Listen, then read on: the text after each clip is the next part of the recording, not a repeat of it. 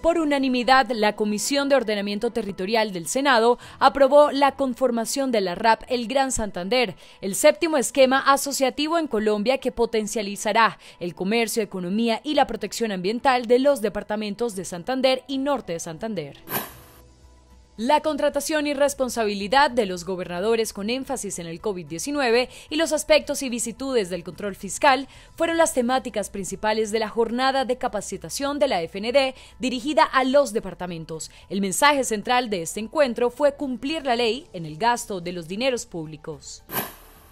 Ratificamos nuestro compromiso con el cuidado y preservación del medio ambiente, con la gestión y participación en el Taller Regional de Cooperación Internacional para la Amazonía, una iniciativa que busca fortalecer los equipos departamentales de cooperación internacional en materia de gestión y articulación a través de la experiencia de entidades del Gobierno Nacional.